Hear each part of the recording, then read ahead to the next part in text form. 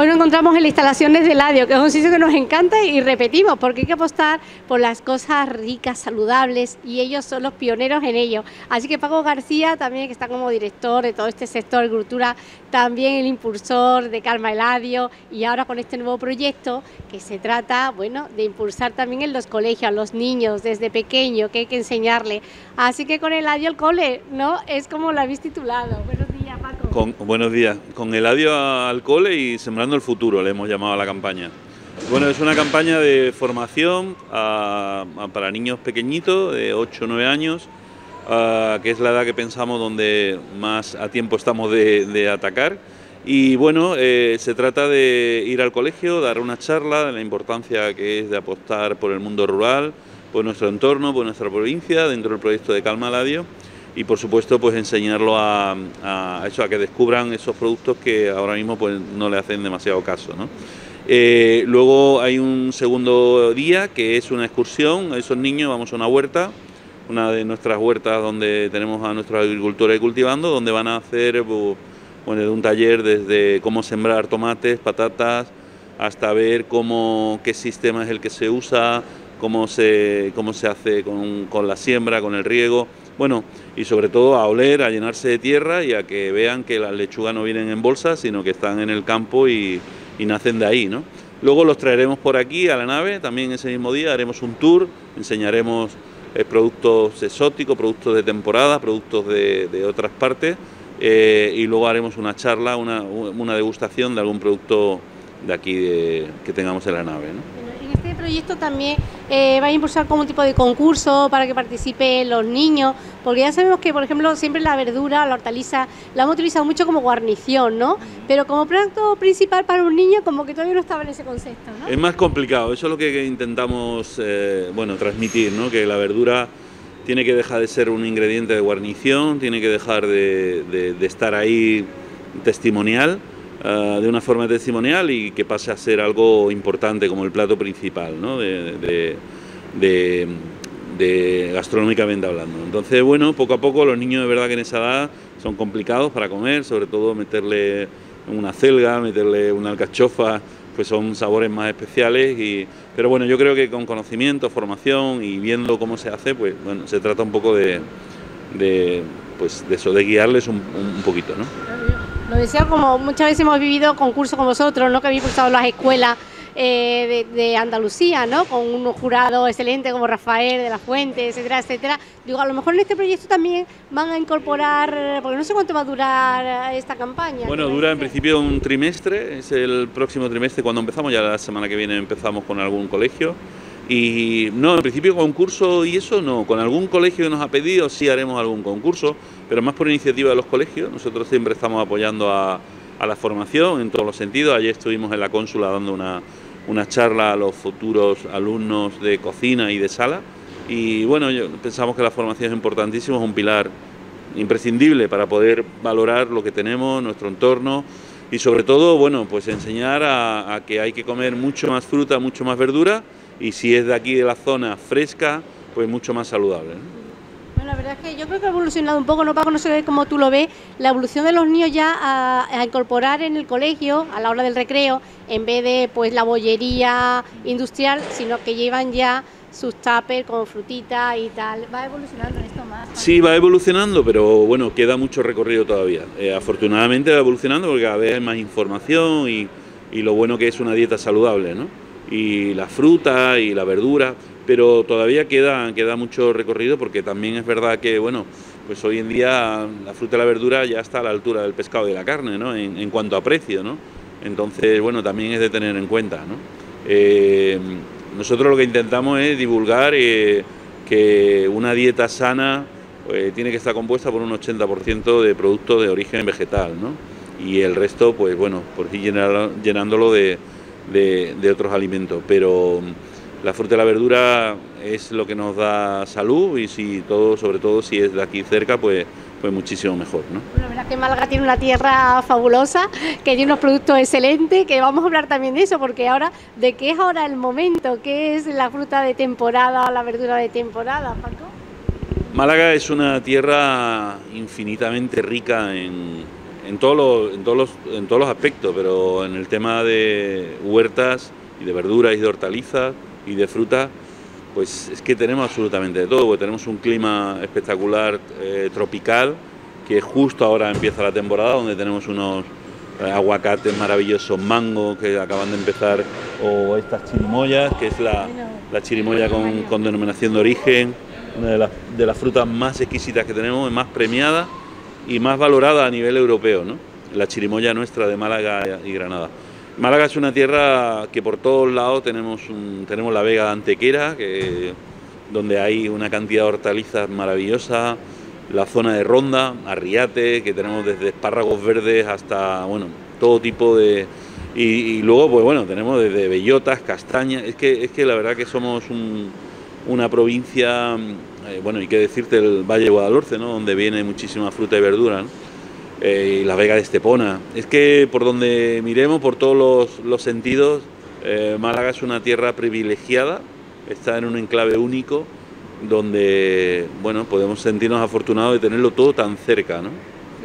Muy buenos profesionales como eres tú, Paco, que impulsa todo, todo estos temas tan bonitos y tan sanos, ¿no? Ahora fíjate que viene la Navidad, que ya se aproxima, lo hemos todo decorado y se ponen muy de moda los turrones, cosas dulces que luego para los dientes y para la salud no muy bueno, pero estaría bien la cesta navideña con frutas y verduras.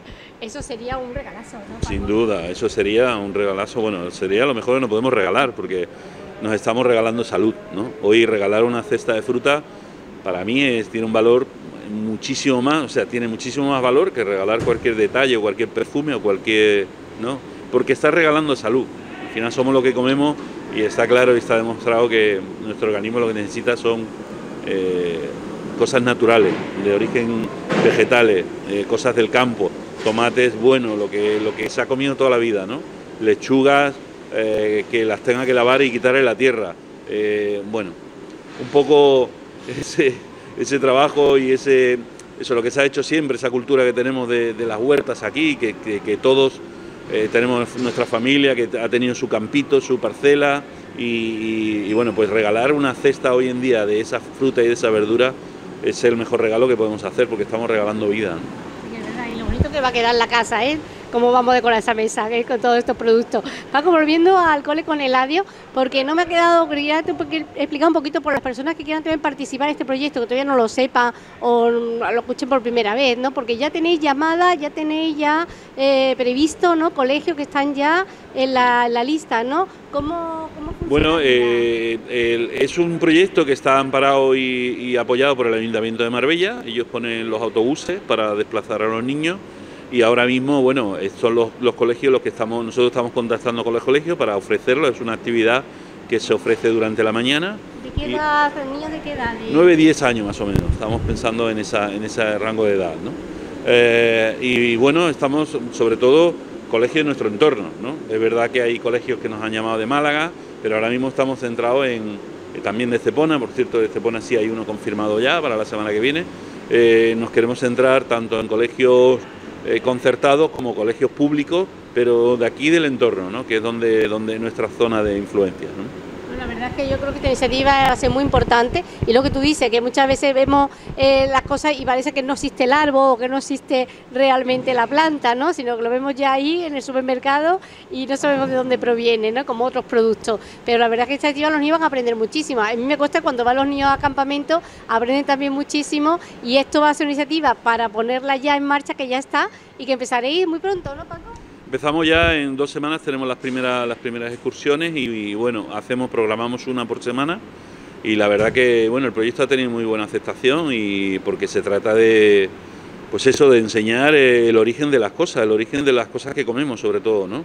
Hay muchos niños que es verdad, que no es que lo diga yo, es que niños que no saben que la lechuga se cría en el suelo y, y no sale de una bolsa, ¿no? Entonces, bueno, nuestra granito de arena para poder ayudar y apoyar a, sobre todo que tengan una, una, dieta saludable, que es lo más importante, ¿no? porque al final la comida somos los que comemos y, nosotros si comemos bien, pues estaremos bien. ¿no? introduciendo esos productos en, en, la mesa de los chiquillos, pues también, ¿no? Bueno, algunos adultos también deberíamos también de concienciar, bueno, bueno, muchísimo. muchísimos adultos, pero por eso, por eso viene, porque por eso nosotros atacamos a esa edad, porque queremos cogerlo a tiempo. Y hay muchos adultos que no podemos cambiar su hábito alimenticio, pero lo de los pequeños sí, ¿no? Y cuando tú entiendes un producto, lo conoces, ves cómo se cultiva, eh, le pones cara a la, persona que lo cultiva, ves la finca, todo el problema que hay con el agua, con la sequía, todo eso, la gente se conciencia un poco más y valora más lo que tiene, ¿no? Y bueno, se trata de eso. Yo creo que Además, yo soy un claro ejemplo. Yo comía bocadillo hasta que tenía 17 y 18 años, que no eh, veía una lenteja salía corriendo. Y hoy mato por una lenteja, ¿no? O sea que. Entonces, bueno, todo tiene su proceso. Es normal, también es normal, ¿no? Además, la industria, como bien lo sabe, está como muy, muy disciplinada en, meternos por, por, eh, por la boca cosas dulces, cosas muy adulcoradas, cosas muy, con muchísimos ingredientes. Eh, que al final eh, es lo que hace que el niño le guste y, sea apetecible y lo enganche de alguna forma, ¿no?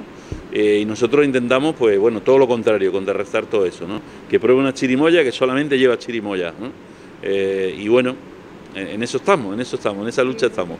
La verdad es que este proyecto conlleva mucho más. Yo cuando leí eh, vuestro proyecto y tal, me pareció muy bonito porque también por el tema de lo que está pasando que ha dicho, de que no llueve y tal, entonces el niño que ve todo esto, que, que se cultiva en la tierra, que hay que cuidar también nuestra tierra, entonces no echar papel, no echar basura, plástico, eh, también reducir el consumo de agua, que abrimos el grifo y lo dejamos ahí para lavar los dientes o para cualquier cosa. Entonces yo creo que también todo esto va en cadena de considerar también para Totalmente de acuerdo, eso bueno, forma parte del programa, ¿no? de concienciar lo importante, sobre todo lo importante que es el entorno rural, el mundo rural y los agricultores. Eso es lo más importante, porque fíjate, hemos estado en una pandemia que ha sido el gremio más importante que hemos tenido, no nos ha faltado nada, no nos ha faltado nada porque ellos han estado ahí. Si no hubieran estado ellos, pues ya me contarían, ¿no? Que, de dónde íbamos a sacar las cosas, ¿no?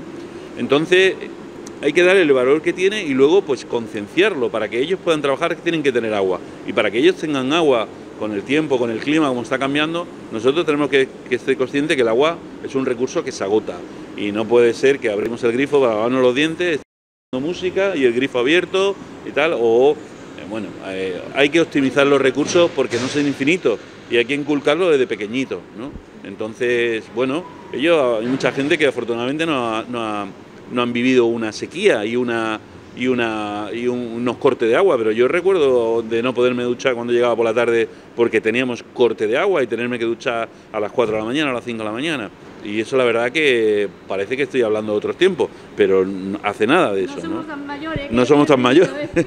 Entonces, bueno, eh, no valoramos lo que tenemos hasta que dejamos de tenerlo, ¿no? Y, y eso es justo lo que nosotros intentamos intentamos potenciar y sobre todo dar a conocer, no solamente con el agua, sino con muchísimos más, más recursos, ¿no? con, con la agricultura, con nuestro entorno, con nuestras fincas.